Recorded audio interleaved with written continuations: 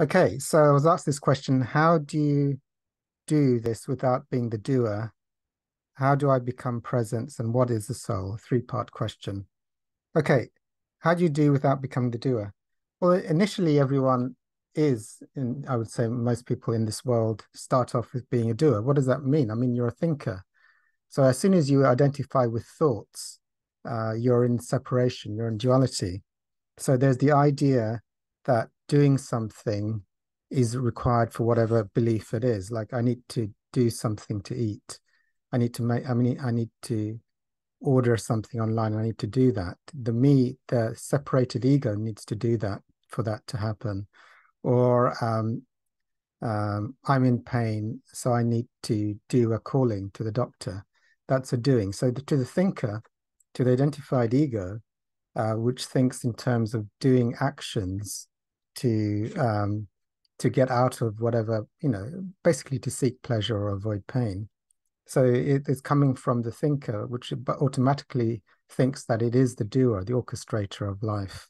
Uh, that's the uh, idea that the, you know, oh, I'm I'm I'm in charge of my life. I'm doing it all. It's all me, and without me, I can't do anything. So that that's the idea of the doer. Um, so how how how do you do things without being well?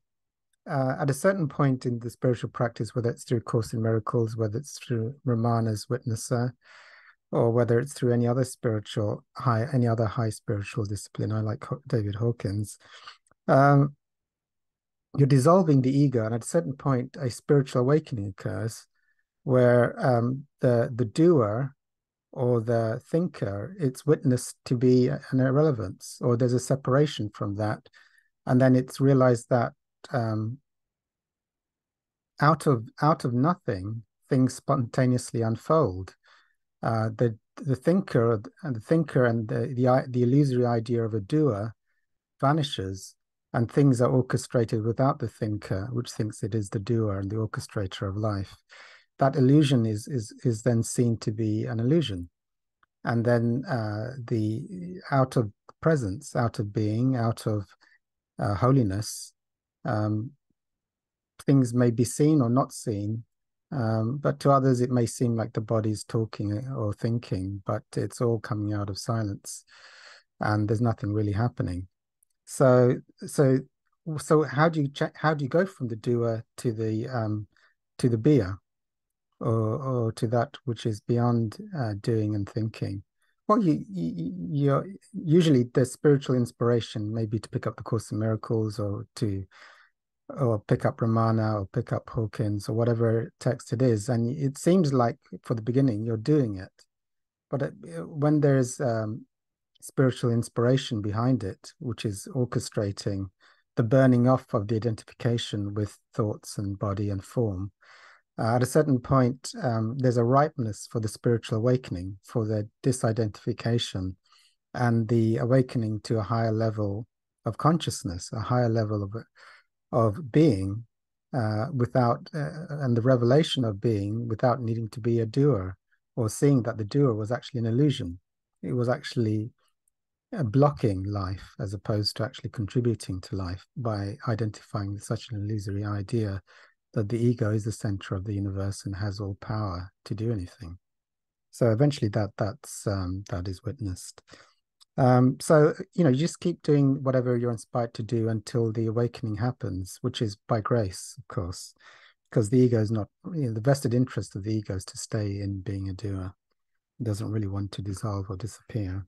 Uh, okay, so how do yeah? I think that also answers how do I become present. Same question, really. Um, you know, for example, the Course of Miracles, all my thoughts are meaningless. Um, so let's say um, if you if every single thought is meaningless, then at a certain point, if you just keep repeating that with every meaningful thought, then eventually there'll be no thoughts left that you'd identify with because you don't identify with anything that's meaningless. You can't, by definition, it vanishes. You don't remember or see anything which is 100% meaningless, either it doesn't exist for you you'll see that in your own experience as you do the work. So um, if you made every single thought absolutely meaningless, so it didn't register, then you'd you'd switch from the the doer thinker to the beer. So, you know, so that even that one course lesson could take you all the way. Or if you keep witnessing thoughts and going to the disidentified witnesser of thoughts and go to the witnesser where thoughts cease to exist, that would eventually dissolve the idea of a thinker doer and collapse that idea as you awaken to a higher level of, of, of being uh, without the illusion that there was such a thing as a doer or that was really real. Uh, in fact, it creates separation and, and, and suffering, really. So, um, okay, and a separate question what is the soul in spiritual literature?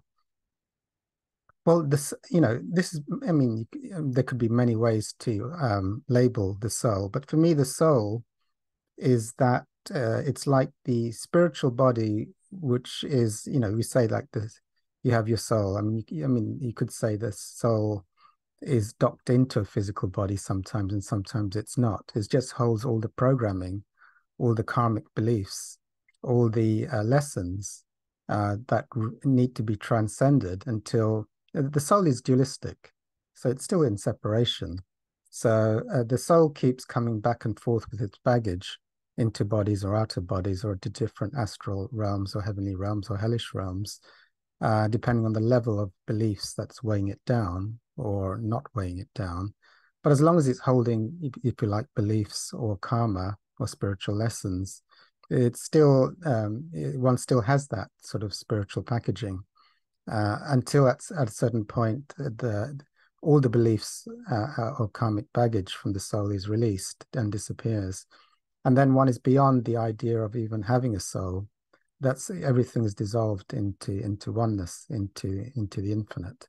So the in, you know a soul is a dualistic it's still in dualism uh, being so it still has some identification of separation in it. But beyond the, when that's 100% released then one is returned to the infinite state. Infinite is beyond a, a individuated soul you can't have like you wouldn't have like you know oh you've got your soul and i've got my soul and everyone's got a different soul. No when, once you go into the infinite that's beyond souls individuated souls. So it doesn't exist. Souls do not exist at the level of infinity. Uh, so yeah but it is used it is important to use it until you're at the level of infinity uh, because you know it's like oh what is that thing that you know when people have out of body experiences or go astral traveling or feel uh, or I disidentify from the body and go to a hellish realm or a or um, or visit a hellish, hellish realm or heavenly realm. Well, that's the soul. It's still in duality, so it still has programming that is, you know, binding it, or if you like, it's like a resonance. The soul resonates at a heavenly realm, or it resonates with so much baggage it takes it down to some dark, dark dimension. Okay, so that's how I'd say my my take on it for most of spiritual literature, even though people can have a different view.